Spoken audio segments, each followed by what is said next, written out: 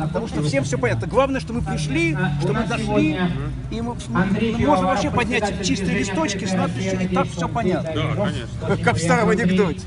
Поэтому это не принципиально. Но поскольку ты гость, то из уважения к гостю обязательно мы просим начать, тем более представляешь целую группу демократических сил. Вот так и скажу. всегда вам рады на Ну, вот когда я приеду к вам да, туда, тогда с меня начнем. К сожалению, не знаком лично, да, очень приятно.